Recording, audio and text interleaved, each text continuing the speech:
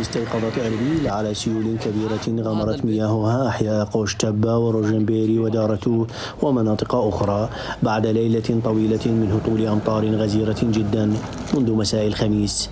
12 ضحية قضوا نتيجة الفيضانات وتخشى سلطات أربيل أن ترتفع حصيلة الضحايا لوجود مفقودين. منهم الطفل دانا ذو العام الواحد وما زال الأمل يحدو ذويه للعثور عليه حيا. بسبب المي. فيضانات. إيه. أضرار من كل شيء ما طالع كل شيء. سيارات ويا بيت يجي كل شيء ما طالع فقدت أثاث المنزل وسيارتي جرفها المياه عبر الشارع وتحطمت بشكل كبير. الأمطار لم تهدأ منذ الليلة الماضية. خسرنا الكثير لكن هذا أمر الله.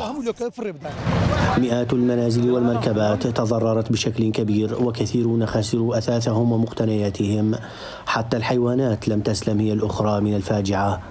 محافظة أربيل أعلنت حالة الاستنفار القصوى وتوجهت كوادر البلدية بكل آلياتها والدفاع المدني منذ ساعات الصباح الأولى إلى الأحياء المنكوبة وفتحوا منافذ للمياه وساعدوا في إجلاء بعض العوائل.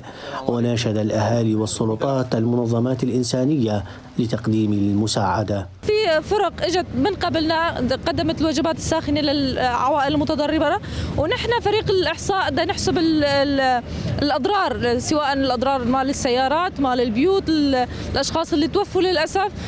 شكلت إدارة أربيل لجانا عاجلة لإحصاء الأضرار وتوزعت فرقها بين الأحياء المتضررة لتسجيل وتثبيت الأضرار لكنهم لم يكشفوا عن حجم التعويضات. ويامل المتضررون هنا أن تتمكن كوادر البلدية من إعادة الأمور إلى طبيعتها بأسرع وقت ممكن.